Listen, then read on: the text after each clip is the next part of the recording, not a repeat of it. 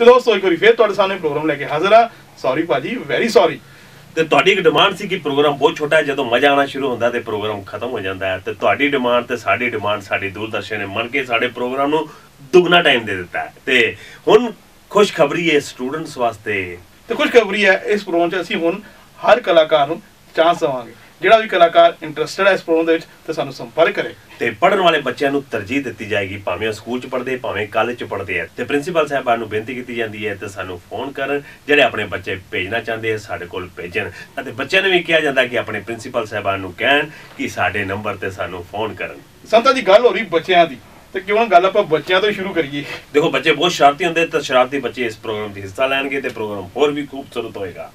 ਤੇ ਕੋਈ ਅਹ, ਬੱਚਿਆਂ ਦੀ ਕੋਈ ਸ਼ਰਾਰਤ ਪੁਣੇ ਤੇ ਕੋਈ ਗੱਲ ਹੀ ਕਰੋ। ਸ਼ਰਾਰਤੀ ਬੱਚਿਆਂ ਤੋਂ ਯਾਦ ਆਈ ਕਿ ਮੈਂ ਹਲਵਾਈ ਦੁਕਾਨ ਤੇ ਗਿਆ ਤੇ ਉੱਥੇ ਕਹਿੰਦੇ ਇੱਕ ਗੁਲਾਬ ਜਾਮਨੂੰ ਬੜੇ ਮਸ਼ਹੂਰ ਹੈ। ਹਲਵਾਈ ਸਾਹਿਬ ਬੈਠੇ ਨਹੀਂ ਸੀ ਉਹਨਾਂ ਦਾ ਬੱਚਾ ਬੈਠਾ ਸੀ। ਮੈਂ ਕਿਹਾ ਬੇਟਾ ਗੁਲਾਬ ਜਾਮਨੂੰ ਦੋ ਦੇ ਦੇ ਪੈਕ ਕਰ ਦੇ। ਕਹਿੰਦੇ ਅੰਕਲ ਖਾ ਕੇ ਜਾਓ।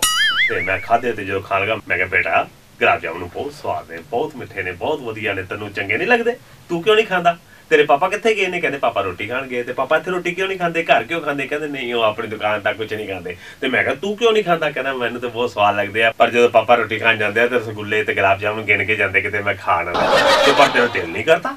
ਕਹਿੰਦਾ, ਅੰਕਲ, ਦਿਲ ਤੇ ਕਰਦਾ, ਪਰ ਨਹੀਂ, ਮੈਂ ਖਾਂਦਾ ਨਹੀਂਗਾ ਨਹੀਂ, ਫਿਰ ਵੀ ਤੇ ਦਿਲ ਤੇ ਕਰਦਾ ਹੋਣਾ। ਨਹੀਂ, ਅੰਕਲ, ਪਤਾ ਕਿ, ਮੈਂ ਖਾਂਦਾ ਨਹੀਂਗਾ ਪਾਪਾ ਮੈਨੂੰ ਕੁੱਟਣਗੇ, ਮੈਂ ਚੂਸ ਕੇ ਰੱਖ ਦੇਣਾ ਮੈਂ ਬੱਚੇ ਤਾਂ ਕਈ ਹੁੰਦੇ ਹੀ ਬੜੇ ਸ਼ਰਾਰਤੀ ਨੇ। ਮੇਰਾ ਬੇਟਾ ਇੱਕ ਦਿਨ ਪੜਦਾ ਪਿਆ। ਤੇ ਮੈਂ ਕਿਹਾ ਕੀ ਕਰਦਾ ਕਹਿੰਦਾ ਪੜ੍ਹਾਈ ਕਰਨ ਡਿਆ ਵਾਂ। ਕਹਿੰਦਾ ਪਾਪਾ ਜਿਹੜਾ ਆਉਣ ਵਾਲਾ ਟਾਈਮ ਕਿਸ ਤਰ੍ਹਾਂ ਦਾ ਆ ਰਿਹਾ? ਮੈਂ ਬੇਟਾ ਇੰਨੀ ਤਰੱਕੀ ਹੋਣੀ ਹੈ ਇੰਨੀ ਤਰੱਕੀ ਹੋਣੀ ਹੈ ਸਾਰਾ ਕੁਝ ਕੰਪਿਊਟਰਾਈਜ਼ ਹੋ ਜਾਣਾ ਬਟਨ ਦਬਾਓਗੇ ਤੁਹਾਡੇ ਕੱਪੜੇ ਪੈ ਜਾਣਗੇ। ਬਟਨ ਦਬਾਓਗੇ ਤੁਸੀਂ ਆਪੇ ਨਹਾ ਲਓਗੇ। ਬਟਨ ਦਬਾਓਗੇ ਤੁਸੀਂ ਕਿਤੇ ਜਾਣਾ ਆਪਣੇ ਆਪ ਗੱਡੀ ਤੁਹਾਨੂੰ ਬਿਠਾ ਕੇ ਲੈ ਜਾਏਗੀ।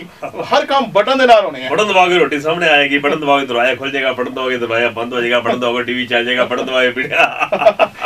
ਬੜਾ ਖੁਸ਼ ਹੋਇਆ। ਖੁਸ਼ ਹੋ ਕੇ ਫਿਰ ਚੁੱਪ ਜਿਹਾ ਹੋ ਗਿਆ। ਮੈਂ ਕਹਾ ਪੁੱਤਰ ਕੀ ਗੱਲ? ਤੂੰ ਤੈਨੂੰ ਖੁਸ਼ ਹੋਣਾ ਚਾਹੀਦਾ ਹੈ ਕਿ ਆਉਣ ਵਾਲੀ ਟੈਕਨੋਲੋਜੀ ਕਿੰਨੀ ਕਿੰਨੀ ਵਧੀਆ ਟੈਕਨੋਲੋਜੀ ਆ ਰਹੀ ਹੈ? ਤੂੰ ਚੁੱਪ ਜਿਹਾ ਕਿਉਂ ਹੋ ਗਿਆ? ਸੋਚਦਾ ਕੀ ਪਿਆ? ਪਾਪਾ ਮੈਂ ਸੋਚ ਰਿਹਾ ਸੀ ਬਟਨ ਦਬਾਏਗਾ ਕੌਣ?